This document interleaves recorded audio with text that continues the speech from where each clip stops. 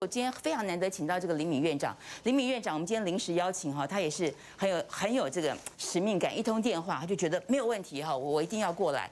那当然一开始哈，我我想先请您谈一下这个蔡英文今天讲的这个，我知道您今天也准备了一些这个图片嘛啊。那第一张我看到就是这个国际天然气的价格，我觉得这是个很重要很重要，就是呢蔡英文哦在今天在这个早教的现场告诉大家，台湾。因为我们有这个世界高阶制造的一个产业啊，台湾的经济多重要，台湾的这个台积电多重要，我们必须要提供稳定的电力啊！这句话真的是打中了我们的心，很重要啊。那我们就扣着他的话，稳定的电力。请问一下，天然气跟核能比，哪一个是稳定的电力？你的证据、你的论述在哪里？我想回头一下，我想我想讲几句话哈，大家会觉得王医师啊，哎，你是看病的。你跟一个谈工程谈完，人家讲的东西你懂吗？事实上，我认识王医师之前哈，我认识王医师之前，我大概也去看他的资历哈。王医师自己处理过工程。而且不止处理过一个，我没讲错吧？嗯，对。他那时候在竹东呃新竹呃台大竹东医院的时候，那工程好像有那么一点点问题，王医师自己下去处理的。后来那一次好像那个有一些疫情还是什么东西，要要要要要改那个改那个发电机。对对，好，所以王医师是自己带着做的。对。所以只有做过的人才知道什么叫做。把工程做好，我觉得他跟王厂长之间能够惺惺相惜，主要的原因是王医师不是一般的医师，啊，他不是只看病人的，他有工程，他有工程上的，他有工程上的经验，他了解，好，东西是你是什么心态去做事，你会做出什么样的东西来，好，所以你不能光看后面弄得漂漂亮亮的那个，你不见得。可能是粉饰太平，但是你的心态是什么？好，那是是没有错。我我再补一个哈，因为呃，之前王厂长说希望这个开放核四嘛，哈，让一般人去参观，参观以后再来决定你票要怎么投。我就问他一个问题，我说啊，像我我去我也看不懂啊，对不对啊？所以呃，刚刚您这个院长提到这个问题，我觉得很好，我再补一下好不好？这个王医师啊，你你到核电厂去看啊，一根矿物。我在去之前我就已经先自己先做过一些功课哦，哦，当然这个功课绝对不够了。哦，但是其实，坦白说，台湾最是为什么我们这个核能的问题会会这么纠结，就是因为这个问题本身需要一些基本的知识，而大家不见得有，对，所以就很容易被人家操弄。哦，随便讲啊，什么保特瓶啊、拼装车啦，然后什么这个地震很危险，这个都是其实都是都是有知识门槛的。哦，所以我我你说这些的问题，我是不是都了解？我我没有那么了解，所以我去看那个现场。是要去印证一下，说我所看到的东西，啊，因为我们可以看很多小地方，就知道这个地方的管理好不好。所以后来你在脸书上写了几十万字嘛，对不对？是，我看到。比如说我去合适的时候，其实我最惊讶的一件事情，就是在这个反应炉啊的反应炉，我是没办法进去，可是它的这个这个后面后端的这个有一些厂房，我是我们可以进去看的时候呢，地上一尘不染。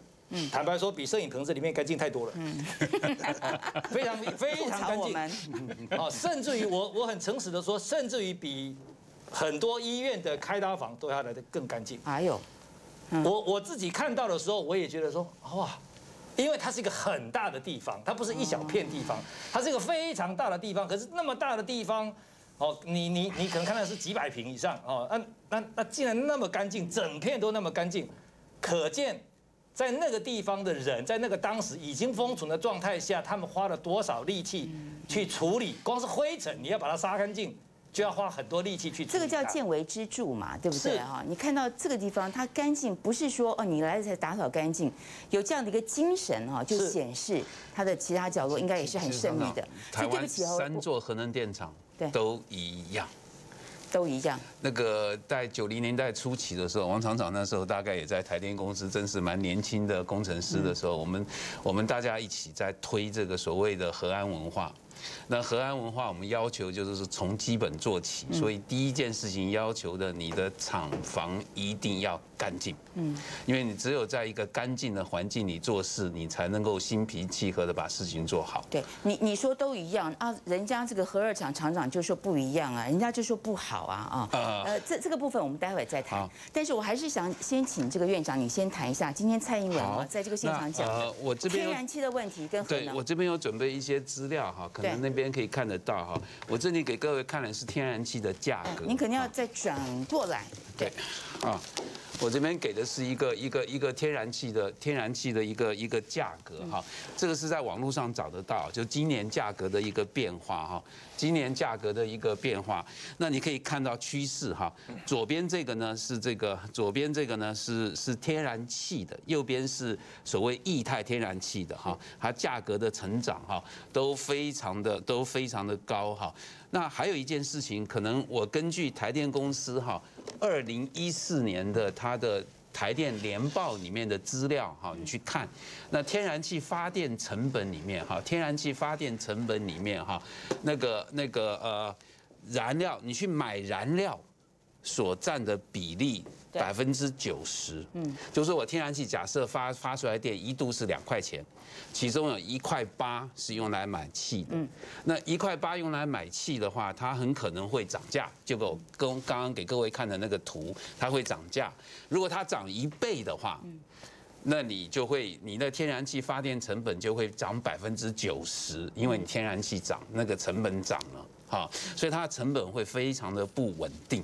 好，它的成本会非常的不稳定。那核能，你说如果我天然气的价格涨了，核燃料的价格会不会涨？也会涨。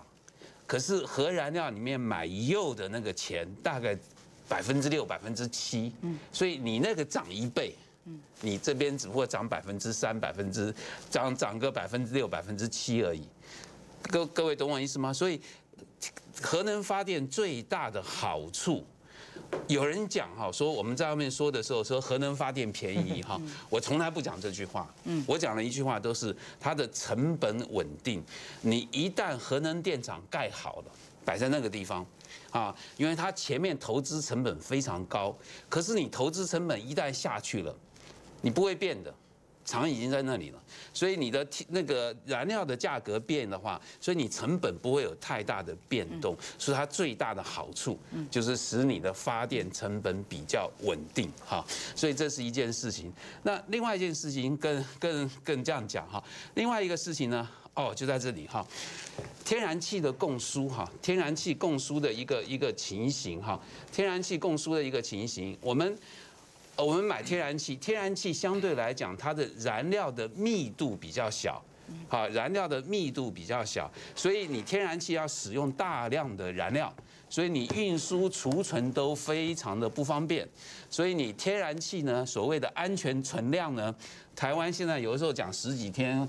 可能估计一下，可能有有的时候可能六七天而已哈。意思讲说，你只要有一条船没有进来，你可能就没有天然气可以发电了。嗯，哈，所以这是我们大量使用天然气的一个最大的问题，就在于发电成本不稳定，供电不稳定。对，还有一件事情，在延伸出去的时候，如果我台湾海峡。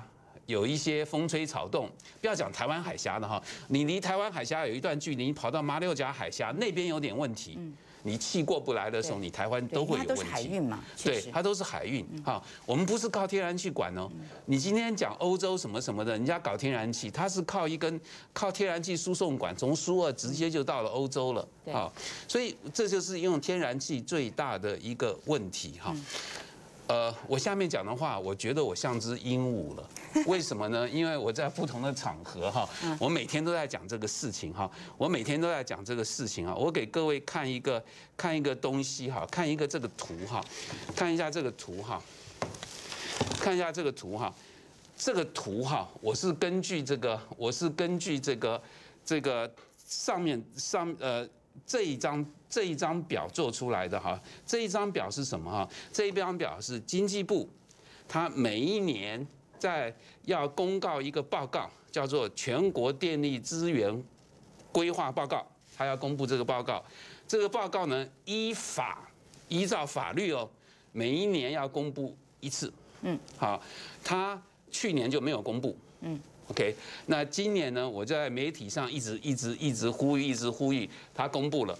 公布完之后，这是里面很重要的一个资讯，就是说我逐年我要拆掉哪一个电厂，我要哪一个电厂要除役，然后我要新建哪一个电厂，全部在这个图上面。这是他的规划，哈，这一直规划到规划到一百一百一十六年，好，长时间的规划。各位。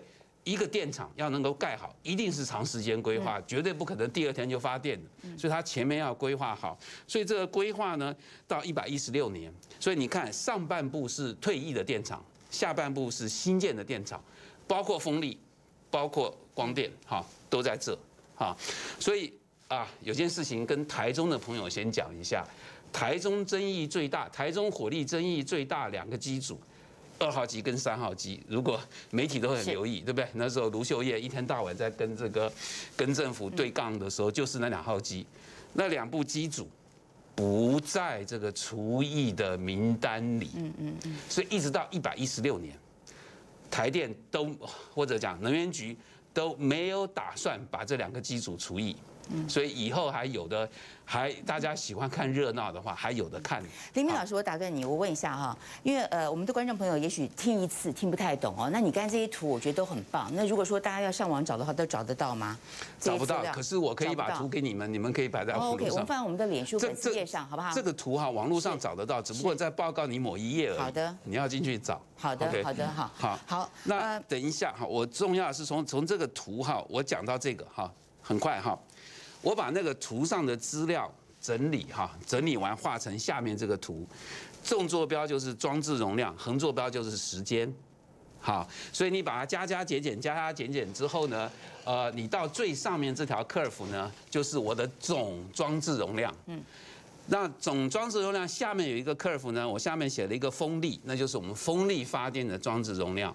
再下面的就是太阳能光电的装置容量，一层一层叠下来，然后中间有一条线，我用红圈圈起来，上面写的可调控机组。可调控机组，什么叫可调控机组？这些电力你要它起来它就起来，你要它下去就下去，是可以。调控它的，你是可以控制它的，风力跟光电是不行的。是，哈，所以当你缺电的时候，当你电不够的时候，你靠的是可调控机组，嗯，撑上来。好，就看这条线，从一百一十年的六月到一百一十四年的十二月，可调控机组的装置容量没有增加，嗯，没有增加，平平的，哈，代表什么？我们这些可调控机组是什么？燃气、燃煤、核能。一百一十四年十二月，核能已经没了，只剩下燃煤跟燃气，还有一些水利，那些是比较少的。啊，可调控机组没变。那现在在这条线之上，风力跟太阳能光电，王医师讲的，太阳下山之后，实话谁没穿裤子？你到了晚上傍晚之后，你那个光电有没有没了？夏天风力有没有？没了，是，但是蔡英文讲啊，核四不商转不会缺电，不同场合他又说三阶不完工就会缺电，那那请问到底缺不缺电？缺电，所以我正在讲，他就一定缺电，缺电啊！你在想哈，为什么讲今年的五月，五月十三号、五月十七号，我们有没有发生限电？有没有发生掉电？嗯，对不对？对，那个时候的装置容量是四八九八。一百一十四年十二月的时候，我们装置容量多少？四九零五，增加了七万而已，是增加了千分之一而已。所以你想想看，我电力的成长，我台积电几个厂上来，哎，台积电不是白天用电，晚上停电的，不是哎，它晚上也要用电。台积电要去高雄啊？对啊，对啊。然后你看看哈，所以我们未来几年，我们一定缺电。我讲的很肯定哈。一定缺电，好，所以谁都救不了我们了。现在，黎明老师从这个数字告诉大家，所以大家听了蔡英文讲话有点头昏嘛啊？为什么核四不商转不缺电，但是三阶不完工就会缺电？到底缺不缺电呢？啊，这个黎明老师告诉大家，这个图呢我们会放在我们的这个脸书粉丝页上，有兴趣或者今天没有听得太懂的朋友呢，继续去研究。